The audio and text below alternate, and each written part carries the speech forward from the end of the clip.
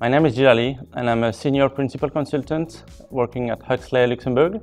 So when I started back in 2014, there was no contract business in Luxembourg.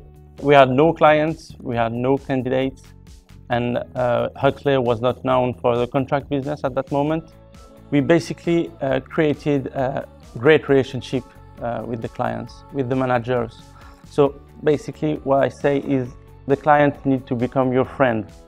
You need to go on site, you need to be a partner. Second thing was to know every single project at your client.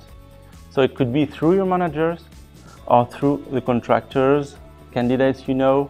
We wouldn't have succeeded without great values. First of all, hard work. So hard work never goes unrewarded.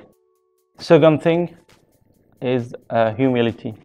So humility, that means keeping your feet on the ground at every moment. And the last value is belief. So believe in what you are doing, believe in your purpose and stick to it.